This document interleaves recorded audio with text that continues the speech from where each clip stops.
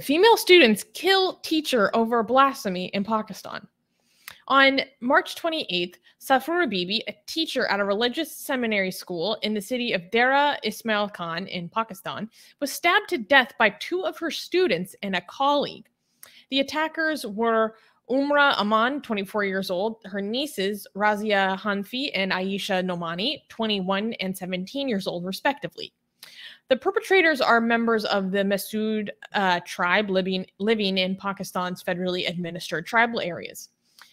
Uh, Najam Has- Hasnam uh, Likat, the district police officer, said that one of the murderer's relatives, a 13 year old girl, dreamt that, quote, the victim had committed blasphemy against the prophet and the prophet had ordered them to slaughter the victim. Police rushed to the crime scene after they were notified of the attack. They recovered the weapon used for the stabbing. They arrested the attackers in their homes hours after the murder.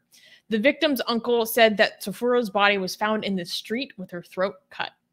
According to the police report, the three had planned their attack against Safura, with Aman leading the plan. Investigators uh, st- stated that Safura may have been attacked due to a personal grudge. Okay, so this is crazy. So, based on the reporting that I have seen, even from sources like Reuters and Al Jazeera and Vice, this woman was stabbed because of a dream that a child had. Wait, what? Wait, what? Yes. So there was reportedly a 13 year old girl that had a dream that this teacher committed blasphemy against the Prophet Muhammad.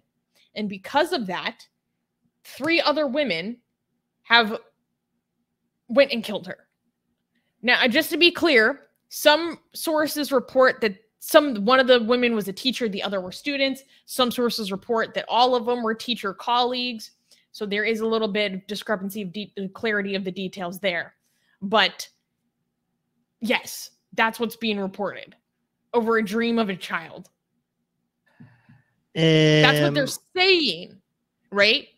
Okay. Now it's well known and well established that the blasphemy allegations and accusations in Pakistan are frequently used to settle personal grudges. Like, for example, there was recently a woman in Pakistan sentenced to death, 26 years old, sentenced to death for pro- blasphemy against the Prophet Muhammad. But she says that the accuser accused her of blasphemy because she rejected his advances. Right. So that's her side of the story. So there is some reporting that says that this Wait, may be due to a personal grudge, but it's also, but their story is that this originated because of a dream. Okay, I am so confused. Um, what? Who, who rejected whose advances? So this was a separate story that we covered several months ago. I'm just giving an example of Oh, okay, okay, another okay, blasphemy allegation. Okay, let's that- not bring that in because this is confusing enough. Okay. Um, so there's two narratives here. One is that this is a personal grudge, and the other one is that some a kid dreamed that the teacher committed blasphemy, but th- that's why they killed her. Uh, why would they kill her? Because of a dream? I don't. Can because she had a dream that they, she committed blasphemy against the Prophet Muhammad, and the Prophet Muhammad commanded her to Oh, go after her Okay. to protect but his what- honor. okay. So, so the other people who were involved with this, why did they? They didn't have what they just accepted this child's dream as a commandment from Muhammad. That's the story. Wait a second. Wait a second. There is hadith on this. I think there's a saying What? there, there's a belief in Islam that if you dream about Muhammad, it can only be Muhammad. Can somebody confirm this? Meaning Maybe that if you see Muhammad in a dream, it's legitimate. Yeah, that is actually him. I heard that somewhere. Maybe that's why they believed her because that's why the um, an authentic hadith repeated by a quote said, "Whoever sees me in a dream actually sees me in truth." it is true. An authentic hadith reported by Abu. So this might. ma- Okay, I don't know if this is why they believe they accepted her accusation, but there is an authentic hadith uh, by Abu uh, Qatada quotes the Prophet as saying, "Whoever sees me in a dream actually sees me in truth." Uh, this is related by Abu by Al Bukhari and Muslim, so by both of the main sources of authentic Islamic hadith. Wow. Uh, and a different a different hadith by reported by Abu Huraira quotes the Prophet saying, "Whoever sees me in a dream will see me when awake."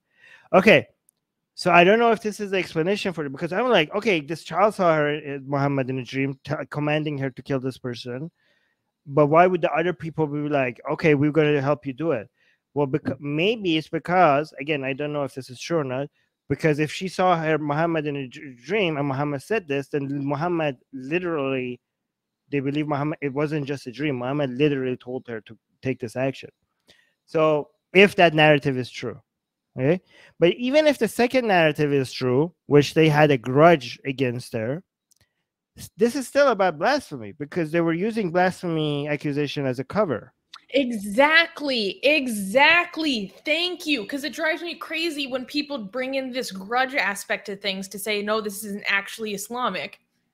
When their cover up for the whole situation or excuse to legitimize it is on the basis of is- Islamic attitudes and doctrines that are imbued from the text. Yeah. So either way, it's still about blasphemy. Whether they're lying or they're telling the truth, even if they're lying and this wasn't a, about her committing blasphemy and it was about the grudge, they're trying to they're trying to make an excuse for it um by saying that they had a dream about Muhammad telling us to this is like okay by the way am i being sexist to think like things are next level when a, a bunch of schoolgirls attack killed their te- like if this No, was men No, not at all. No, because this is something that's very important that I wanted to get to is that one thing that's being very much highlighted when talking about this news is how unusual it is and shocking it is to people that it was a bunch of women who went and did this. Because Mm. if you think about it, blasphemy lynchings are a form of um, honor killing and they're a form of honor culture. And this is something that is usually taken upon and um, uh, demonstrated, materialized, manifested by men, enacted upon by men. And so the fact that it was a bunch of young women who went and did this act has Mm. shocked people. It's highly rare and highly unusual. Yeah, I mean, I hope I'm. Uh, I don't. I don't want to be accused of sexism against men here, but it's genuinely true that men are just more violent because of testosterone and stuff like that. Okay, so uh, you know, this is next level. Like the, you know, but yeah, the fact that even in Pakistan, even women are feeling like going stabby stabby because of blasphemy accusation. Like Pakistan is just getting this going. Like, by the way, this is not us like using anecdotal evidence to describe how bad Pakistan is becoming for people who are new here. The trends, the statistical trends, is absolutely does that like this is like not a one-off thing. This is Pakistan is turning into. I mean, it is a hellhole. Um, do you want to highlight some star comments and read some star comments? Yeah, let's look at this. Um, Murtad Skeptic is saying some Muslims contest to that, meaning the whole dream and hadith situation. So some Muslims contest to that by either saying that it's only true of people who actually knew how he looked, since you can't Mm. actually see his real person if you didn't know how he looks. So that's the way in which they kind of contest or Okay, but that but that of the dream of the prophet. okay i think the people who are trying to discredit it is because they know how dev- de- how destructive that belief is right? For because this way anybody could just come and claim that muhammad just because i had a dream about muhammad and it has to be muhammad since it was in my dream and he told me this. So all of a sudden every single claim about muhammad telling you something in, in a dream should be taken seriously because it was verbatim word of muhammad. So i think like people are trying to find ways to be like okay this can't be right right? But I mean, the hadith itself doesn't have those Those conditions. Yeah. Yeah, so I don't know how you're gonna. And Bubble is saying, if you believe that God ordered Muhammad to marry a six year old in a dream, it becomes easy to give such importance to dreams. Very good point, Bubble. Saying Mhm. this was a, a, a means through which Muhammad himself received messages. Okay, but here's the thing: you can never say that God spoke to you in Islam because um, that would, if you say God spoke to you um, in a dream in Islam, then you're you're claiming prophethood, And if you claim prophethood, you're claiming that Muhammad was not the seal of the uh, prophets, he was not the last prophet. And that by itself is punishable by death. Okay.